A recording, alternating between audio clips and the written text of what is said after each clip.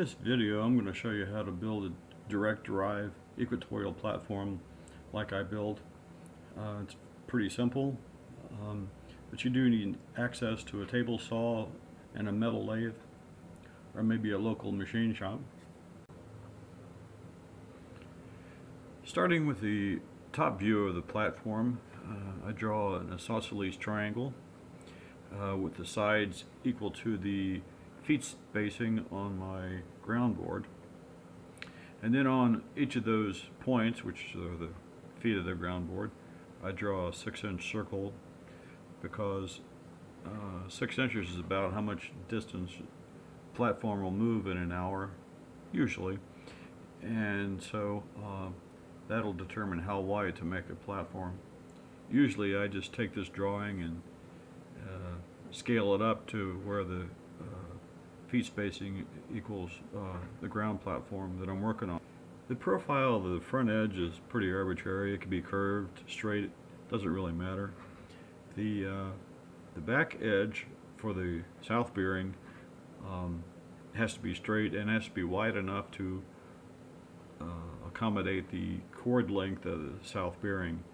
So we may want to adjust that later uh, once we know the chord length of the south bearing in addition to your latitude, you're going to need to know the weight of your telescope tube, uh, the height of the telescope above ground, that is from the middle of the bearings to ground. You're going to need to know the weight of the rocker box by itself and the rocker box center of gravity and that confuses a lot of people but basically you take your rocker box uh, by itself turn it on its side and balance it on something like a broomstick um, to where it just teeters. And the distance from the broomstick to the ground, which would now be on your, your left, is the height of the center of gravity of the rocker box. With this information, uh, we need to calculate the center of gravity of the whole system. Telescope, rocker box, and platform all moving together has one center of gravity which has to be uh, on the virtual axis that we're going to um, create with the platform. And here's a screenshot of the Excel program that I use to calculate the center of gravity uh, with the uh, formula. Basically plug in a value for the um, center of gravity and when the torque value is zero, uh, that's the right height. Only need to be within a tenth of an inch. Using CAD I draw two light blue lines coming down from the front and back of the platform and then a light blue construction line coming down from the center of our triangle which is where we draw our center of gravity uh, 11.6 inches high. Then we draw a uh, virtual polar axis. Next I draw a construction line coming down from the front of the triangle, which is where our feet are. And then I want to draw a perpendicular uh, line uh, from our polar axis uh, so that the we, are going to construct the north bearing around the area of the little cross there for the, where the cursor is. If you're using AC motors, then I need to determine what radius to make the north bearing. And that's determined by the motor speed and the diameter of the uh, drive shaft. And I like to use commonly available uh, stainless steel shafting from McMaster-Carr or wherever. You want to use a, a drive shaft diameter somewhere between a quarter and a half an inch so I have a little spreadsheet to calculate what the drive shaft should be based on the motor speed. And in this case I'm uh, using a 4 RPH motor and I found that with a 14.96 inch radius north bearing uh, I can use a 5 16th uh, standard uh, stainless steel shaft and to come up with the right speed. I spaced the top platform three inches from the ground board and then I drew in the south bearing its radius doesn't really matter because it's not driven, but it needs to be a little bit shorter than the north bearing. Also, the uh, the sag on each of these curves uh, needs to be enough so that the bearing width is equal to or maybe slightly greater than the width of the platform uh, where it attaches. Okay, so um, to make the north bearing, um, I've already cut uh, a uh, the bevel on the edge of this uh, piece to the complementary angle of my latitude. Now I want to draw a, um, well I've got a draw, line drawn here which is the um, sag of the curve. So I want to draw a radius of that I've got marked out here with a pin stick. Very simple. Uh, and then make sure that uh, the crest of the curve falls on the, that line and then just draw that out. Now I'm going to cut that out with a little bit extra and go from there.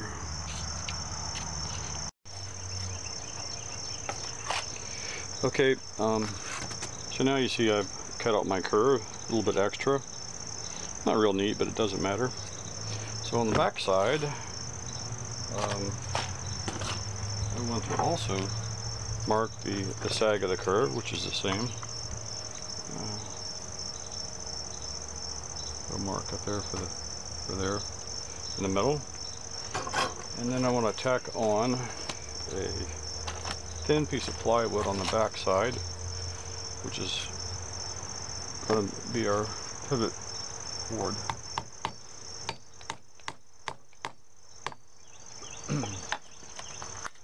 Using um, some real small brads.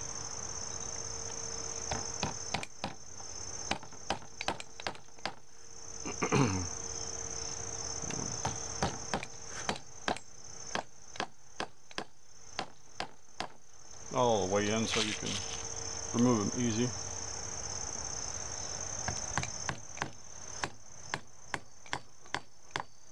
Now I'm ready to cut my radius. I forgot to mention that um, we need to take our same radius stick and find, uh, I've already marked it here, uh, find the intersection of, just hold it on the edge and find the intersection out here here. Um, that's not where we're going to place our pivot. We're going to put our, uh, our end of our sag is right here, but the middle of the bearing is, is uh, halfway uh, farther, so I'm going to maybe about a half inch um, put the radius uh, that we want to go go to there. And in, my pivot point will be from there. You can see that radius is farther out, so we want to have our pivot point. This is where the two curves cross, but our pivot point we want to be out farther. Would be out here.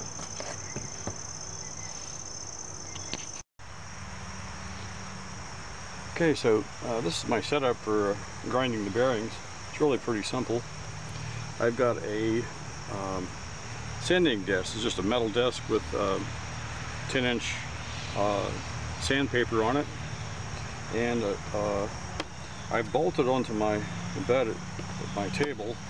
It's just a piece of oak and it's got um, it has a lag bolt in it that clamps it to the table and through it to another piece of wood. And then I've got my uh,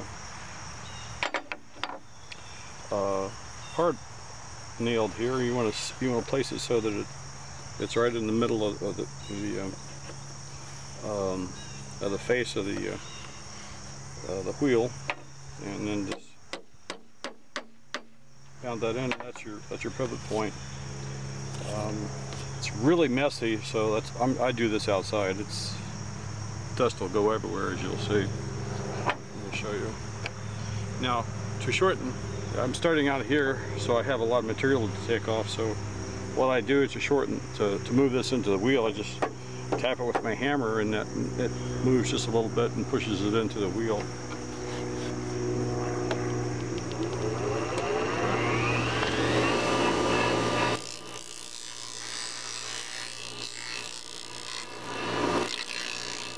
That didn't do much, but now I'm gonna tap my tap it in a little bit.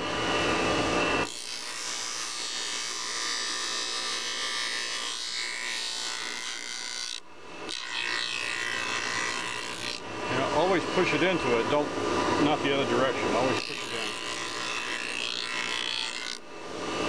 in. And you start to see a little bit of the edge there.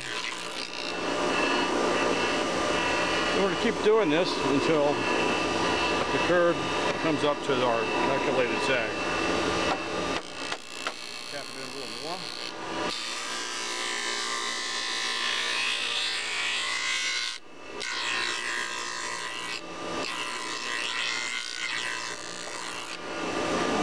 Keep doing it.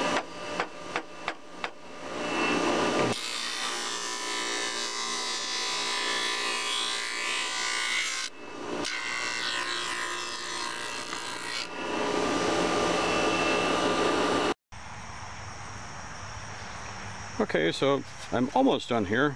You can see my uh, mark for the sag of the curve. We want the curve to come into there, uh, but we, like I said, we want to be sure that you measure to the middle of the curve for your radius.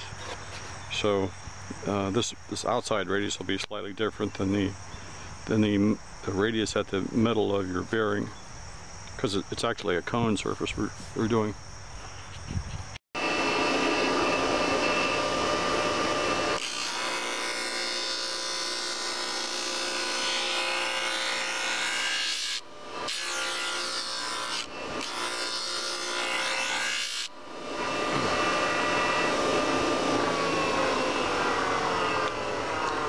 So there, I've kept, kept pushing it in and now my curve is up to my mark. So the sag of this bearing is where it's supposed to be, at the right radius. And uh, just like it did the north bearing, I do the south bearing the same way. Uh, this time the sanding disc is perpendicular because you want a square face and then you can just measure the radius directly to to your pivot point. Much easier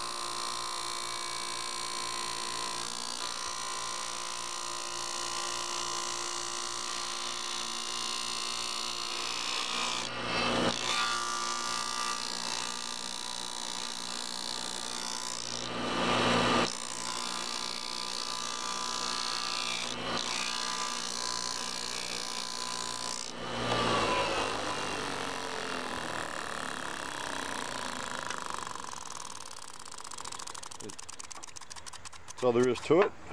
Um,